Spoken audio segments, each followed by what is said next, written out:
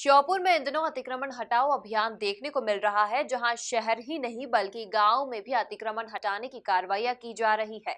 इस अतिक्रमण हटाओ कार्रवाई से ग्रामीण भी खुश नज़र आ रहे हैं। श्योपुर ज़िले के ग्राम राडेप में अतिक्रमण हटाने की कार्रवाई की गई। यहाँ खेतों से लेकर गलियों तक अतिक्रमण के कारण लोगों को परेशानियों का सामना करना पड़ रहा था।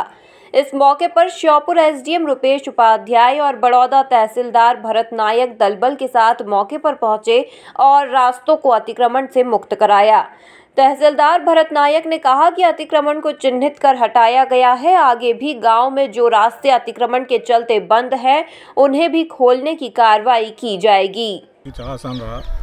उसके तहत राड़ेब गाँव में रास्ता है लगभग एक डेढ़ किलोमीटर का, तालाब से लेके और अपने रावली के खेतों तक। यहाँ पर समय के साथ में लोगों ने अतिक्रमण कर लिया था।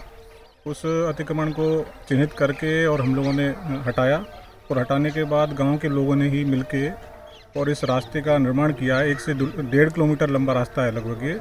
उसको जन सहयोग से इन लोगों ने बनाया है और ये बहुत ही अच्छी पहल की है और ये हमारा जो अभियान है ये निरंतर जारी है। आगे भी ग्राम में जो है जो रास्ते बंद पड़े हुए हैं, उनको भी जो है खोलने की कार्रवाई की जाएगी। देखा जाए तो शहर के बाद अब गाँव में भी अतिक्रमण हटाने की मुहिम प्रशासन द्वारा तेज कर दी गई है। Bureau report, MP news, Sheopur.